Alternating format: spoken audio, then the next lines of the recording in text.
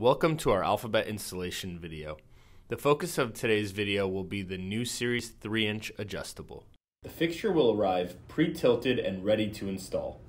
First, remove the bezel and twist out the reflector. These two Phillips head screws will be used to engage the wings and attach to the ceiling. The screw you see here will be used to lock and unlock the rotation. And finally, this screw will engage the tilt. To install this fixture, you'll need a standard Phillips head screwdriver and a 2mm hex head. If using a power tool, please be sure to turn the torque to the lowest setting. Simply connect the fixture to power and slide it into the ceiling. Using a Phillips head screwdriver, engage the wings. Once the fixture is tightened, you can begin to aim. Unlock the rotation via the 2mm hex head screw.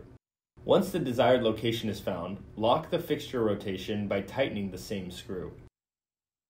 To engage the tilt, rotate the set screw from below the ceiling. Then simply twist your reflector back in place and snap your bezel back in. If lens and bezel removal is necessary, you can use the suction cup provided to remove it. Please review the installation instructions found on our website and call us at 714 259 9959 with any questions.